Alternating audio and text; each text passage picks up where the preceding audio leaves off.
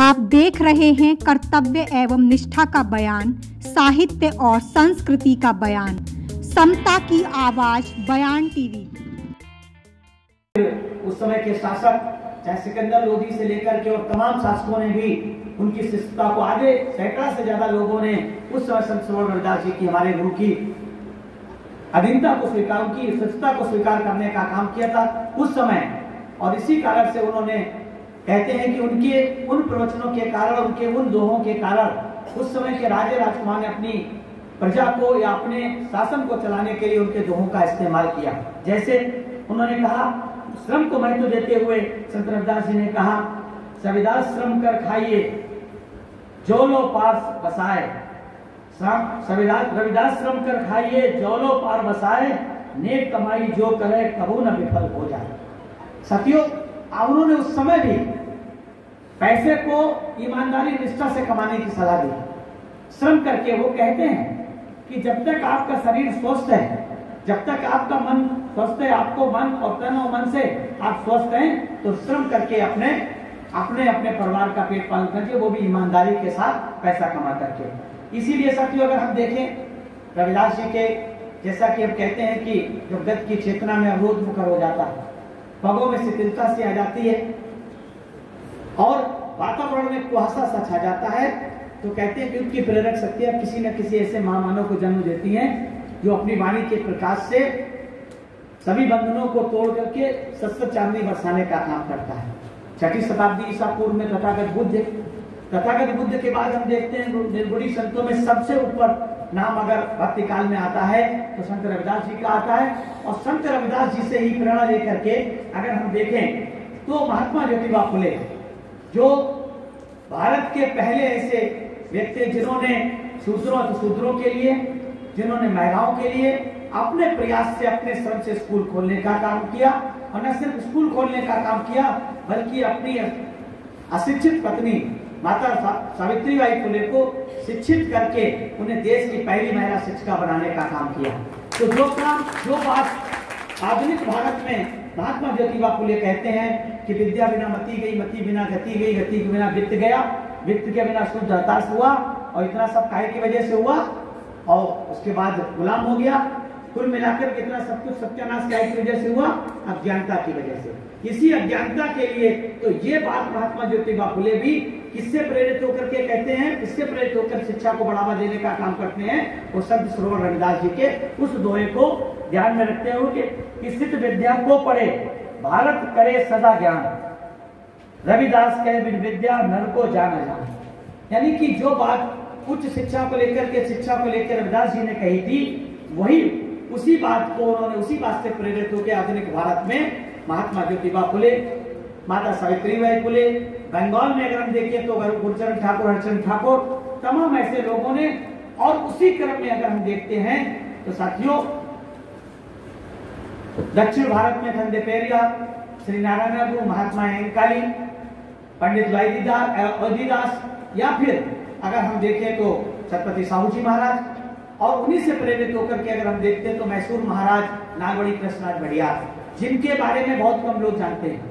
नानबड़ी कृष्णराज बढ़ियार यानी कि कृष्णराज बढ़ियार फोर्थ एक ऐसा शासक हुआ है, मैसूर का महाराज जो कहे जाते हैं, जिन्होंने अपनी रियासत में छत्रपति साहू जी महाराज से प्रेरित होकर के, इन महापुरुषों से शिक्षा के लिए प्रेरित होकर के अपनी रियासत में उन्होंने एक मिलर कमीशन स्थापित किया।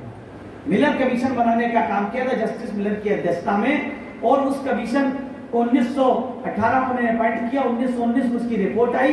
तो भारत का पहला बैकवर्ड कमीशन अगर हम कह सकते हैं तो जस्टिस मिलर कमीशन का, और उसकी रिपोर्ट के आधार पर 1921 में नारवड़ी प्रसाद बड़ियार ने, यानी प्रसाद बड़ियार फोर्थ ने, अपनी रियासत मैसूर में 75 परसेंट रिजर्वेशन देने का काम किसको किया? नॉन हिंदूज को, या कहते हैं नॉन ब्राह्मण या नॉन यूरोपियंस को। तो रिजर्वेशन की, चाहे वो शिक्षा के क्षेत्र में हो, चाहे सरकारी नौकरियों क्षेत्र में अगर शिक्षा के क्षेत्र में नौकरियों और क्षेत्र में अगर बढ़ावा देने का काम किया है तो ये भी प्रेरणा कहीं ना कहीं से संत रविदास, अगर हम देखें तो जो क्रांतिकारी विचारों की बात आती है कि आज वर्तमान उनकी क्या भूमिका है तो मैं तो समझता हूँ कि आज भी इक्कीसवीं सदी में भी संत रविदास जी को हमें खींच के नहीं लाना पड़ता है, बल्कि उनके आज भी विचार प्रासंगिक है, वैसे ही प्रासंगिक है, जैसे साथियों चौदहवीं सदी में रहे होंगे। तो मैं बताना चाहता हूँ कि संत रविदास जी के ने हमें जैसा कि हमारी बहन ने भी कहा था, गौर बहन ने, कि संत रविदास जी ने समाज के हर पहलू पे अचोट करने का काम किया जातवाद का हो, जात के आधार पर गैर बराबरी का हो, या जन्म के आधार पर पैदाइशी की बात हो, कि जन्म के आधार पर ऊंच नीच की भावना की बात हो, उसको भी। और सबसे बड़ी बात जो उन्होंने कही थी, कि रविदास जी जन्म के आधार पर ऊंच नीच की बात का खंडन करते हुए कहते हैं कि रविदास जन्म के कारण हो न कोई रविदास जन्म के कारण हो तो न को नीच, नर को नीच कर डारे खोज करन की कीज उन्होंने इस बात को कहा कि जात के जन्म के आधार पर कोई आदमी नीचा ऊँचा नहीं हो सकता है। और उसको उन्होंने बाकायदा साइंटिफिक रूप से प्रूव करने का काम भी अपने दोहे के माध्यम से किया। वैज्ञानिक संरचना मनुष्य की देने का काम किया। वो मनुष्य की की वैज्ञानिक संरचना क्या थी मनुष्य की? कि जल की भीति पावन का, पवन का थंबा, जल की भीति पवन का थंबा, रक्त बूंद का धारा, हाड़ मास नाड़ी को पिंजर, पंखी फसे विचारा। ये उन्होंने मनुष्य में जो कहते हैं कि मनुष्य के शरीर में सत्तर परसेंट, पचहत्तर परसेंट जल होता है, हवा से ऑक्सीजन लेने का काम करता है। और बाकी जो, यानी कि स्त्री के रक्त और पुरुष के उससे मिलके वो बनता है, उसके बाद हार्मोन कहने का कुल मतलब है कि आज जो मनुष्य की परिकल्पना जो हुई है साइंटिफिक रूप में तो उसमें कहीं भी जन्म के आधार पर, क्योंकि उनके जन्म का आधार एक ही रास्ता है, स्त्री पुरुष का मिलन। और स्त्री पुरुष के मिलन के बाद जो बच्चा पैदा होता है, वो कोई भी जन्म के आधार पे ऊँचा और नीचा नहीं होता है। और उन्होंने उस समय उस समय भी छोटे छोटे लोगों के माध्यम से छोटी छोटी बातों को बड़ी चोट करने का काम किया कि समाज को एकजुट रहने का संदेश दिया। आज साथियों, अगर इस देश में सही मायने में अगर हम देखें, जो वर्तमान परिप्रेक्ष्य में अगर देखें, जो बहुजन समाज पार्टी की भूमिका है तो उसके जन्मदाता और संस्थापक मानव श्री कांसेराम साहब ने अगर प्रेरणा लेने का काम किया तो मैं समझता हूँ संत रविदास जी के उन दोहों के साथ किया। उन बातों से समझ के किया कि उन्होंने कहा था कि सत्संगत मिल रही है माधो जैसे मधु फकीरा। अगर मधुमक्खी जैसे यूनाइट होकर के रहती है, अगर उसके ऊपर कोई अटैक करने का काम करता तो एक सामूहिक को करने का। तो इसे उन्होंने कहा। ऐसे मानव कांसीराम साहब ने पूरे देश के लोगों को इस तरह का आह्वान करने का काम किया कि आप लोग एकजुट हो जाइए। अगर आप लोग एकजुट होंगे, जो भारत में छह हज़ार सात सौ तैतालीस जातियाँ, यानी कि पचहत्तर परसेंट, आज हमारे लोग क्यों इस बात से परेशान है? क्यों परेशान है? परेशान सिर्फ़ इस बात से हैं कि बाबा साहब डॉक्टर भीमराव अंबेडकर ने हमें भारत के संविधान में बराबर के वोट का अधिकार देने का काम किया हमें एक व्यक्ति, एक वोट एक वोट के एक मूल का सिद्धांत देने का काम किया। लेकिन आज़ादी के तिहत्तर वर्ष बीत जाने के बाद भी आज भी एक व्यक्ति, एक मूल के सिद्धांत का खंडन होता है। आज भी एक व्यक्ति के एक मूल का सिद्धांत का खंडन आज भी ऊंच नीच की भावना विद्वान है। इसलिए मानवर कांसेराम साहब ने सही माने में अगर हम देखें तो उन्होंने जो जिनको भारत के करता कहा गया है, जिन्हें करिश्माई कांसीराम कहा गया है, उन्होंने देश की उसी धरती को भारत की राजनीति का केंद्र बिंदु बनाने का फैसला किया, जिस धरती को आर्याव्रत कहा जाता था, जिस धरती से, जिस धरती से आर्यों ने रहकर के पूरे देश में शासन करने का काम किया। लेकिन उसी धरती पर संत रविदास जी ने उसी धरती को उर्वरक बनाने का काम किया है। सभी जातियों को यूनाइट करके उर्वरक बनाने का, उस धरती को उर्वरक बनाने का काम किया तो उस समय संदेश दे करके ऐसे कैसे, क्योंकि उन्होंने अपने दोहों के माध्यम से, जैसा कि मैंने तो एक प्रसंग पढ़ा था, जो बहुत ही सुप्रसिद्ध लेखक हैं, गेल ओम्बेट ने अपनी प्रसिद्ध पुस्तक सीकिंग बेगमपुरा में लिखा कि सदगुरु रविदास की संपूर्ण इतिहास में, जो सदगुरु रविदास जी हैं, भारत के संपूर्ण संपूर्ण इतिहास में प्रथम व्यक्ति माना है जिन्होंने आदर्श समाज का ढांचा पेश किया, अर्थात ये बताया कि समाज कैसा होना चाहिए। जो समाज कैसा होना चाहिए, इसकी विचारधारा कहाँ से हमको मिली? भारत के लोगों को सही माने में संत रविदास जी से मिली।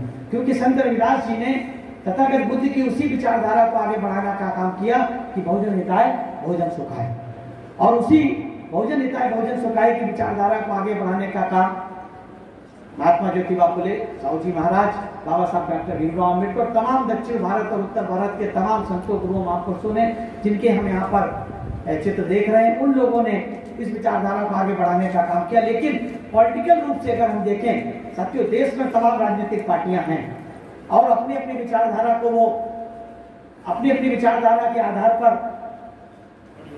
बढ़ाने का काम कर रहे हैं। लेकिन सही माने में अगर हम तथागत बुद्ध से लेकर के और बाबा साहब डॉक्टर भीमराव अंबेडकर के अंबेडकर के मूवमेंट को अगर सही मायने में देखें तो इस देश में, इस बहुजन समाज के मूवमेंट को, इस बहुजन समाज के आंदोलन को सिर्फ़ और सिर्फ़ एक पार्टी और एक पार्टी की लीडर आदरणीय बहन कुमारी मायावती जी और बहुजन समाज पार्टी आगे बढ़ाने का काम कर रही है। क्यों कर रही साथियों? मैं इसको प्रमाण के साथ बताना चाहता हूँ। प्रमाण के साथ इसलिए बताना चाहता हूँ कि आज तक, आज भारत के भारत की लोकसभा में 131 मेंबर ऑफ़ पार्लियामेंट चुन करके जाते हैं, जो एस सी के होते हैं। और लगभग इतने ही डेढ़ सौ से 200 के बीच ओबीसी के भी चुन करके जाते हैं। आप लोगों को मैं इतिहास की एक बात बताना चाहता हूँ कि जब 1980 में मंडल कमीशन की रिपोर्ट आई थी तो मंडल कमीशन की रिपोर्ट आने के बाद इस देश की किसी भी राजनीतिक पार्टी ने 80 की रिपोर्ट आने के बाद भी किसी भी राजनीतिक पार्टी ने मंडल कमीशन की रिपोर्ट को लागू करने के लिए एक शब्द भी बोलने का काम नहीं किया उस समय मानव श्री कांसीराम साहब ने अपनी सरकारी नौकरी को लगभग छोड़ चुके थे और वाम की स्थापना कर चुके थे, छह दिसंबर उन्नीस सौ अठहत्तर को। तो मानवर कांसीराम साहब ने छह दिसंबर उन्नीस सौ अठहत्तर को जो वाम सेठ की स्थापना की थी, उस वाम सेठ के माध्यम से सबसे पहली बार सबसे पहली बार मंडल कमीशन की रिपोर्ट को लागू करने के लिए अपने लोगों के बीच में संदेश देने का काम किया। हमारे साथी प्रोफेसर साहब बैठे हैं और हमसे ज़्यादा बेहतर से जानते होंगे, अनिता जी भी है, वो आपको और ज़्यादा बेहतर से बताएँगी।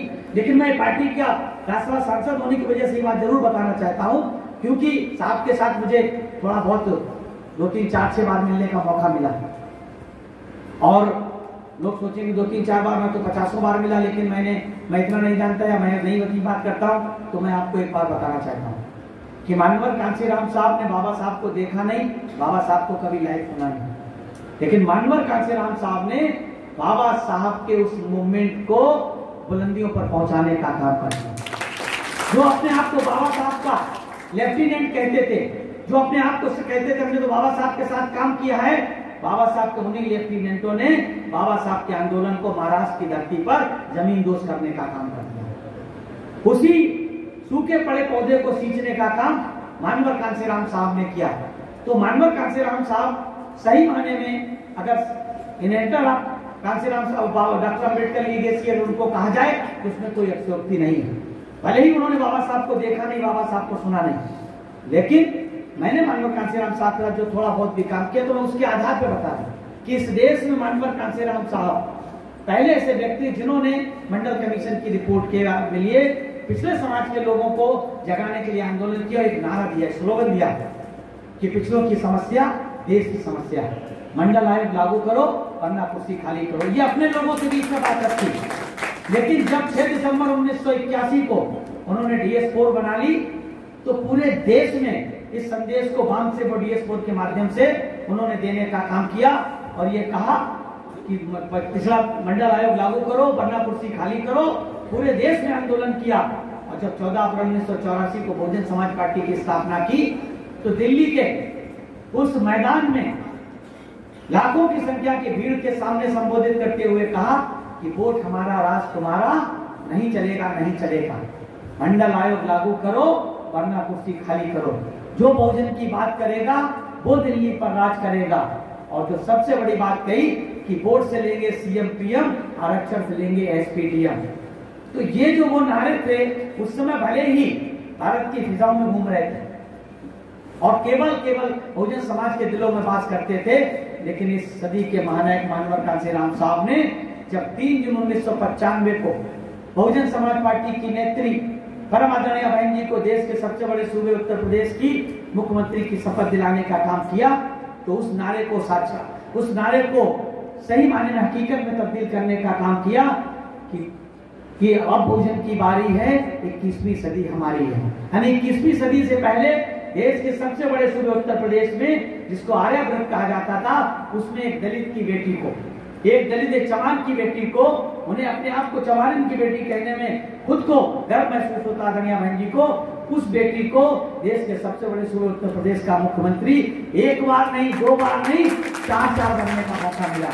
लेकिन किसके आधार पर मिला, सही माने में अगर देखें तो संत रविदास की उस इच्छाओं के माध्यम से मिला। और यही कारण है कि जब जब बहन जी सत्ता में आई तो आदरणीय बहन जी ने संत रविदास जी के नाम पर, जो आपको याद होगा कि जो भदोई है जिला जिला भदोई जो मिर्जापुर से कट के जिला बना था उसको संत रविदास नगर बनाने का काम किया। कबीरदास जी के नाम पर उन्होंने नगर बसाने का बनाने का काम किया। महामाया के नाम पर बनाने के जितने हमारे महापुरुष हुए तो मैं दावे के साथ ये कह सकता हूँ कि जितनी भी राजनीतिक पार्टियाँ हैं, इन्होंने उस मंडल कमीशन के लिए ना तो संघर्ष किया और ना ही लागू कराने के लिए बीपीसी की गवर्नमेंट को दबाव बनाने का काम किया। जबकि ये लोग समर्थन दे रहे थे। अगर दबाव बनाने का काम किसी ने किया तो तीन मेंबर ऑफ़ पार्लियामेंट के दम पर मानव श्री कांसीराम साहब ने किया।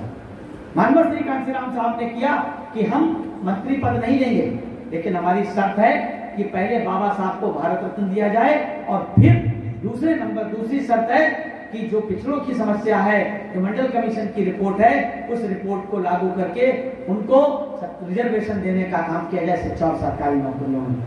साथियों, तब अस्सी में रिपोर्ट आई। 1990 में मंडल कमीशन की रिपोर्ट हुई दस साल लग गए। आपके अपने बयान टीवी चैनल को लाइक, शेयर के साथ सब्सक्राइब करने के बाद घंटी का बटन दबाना न भूलें।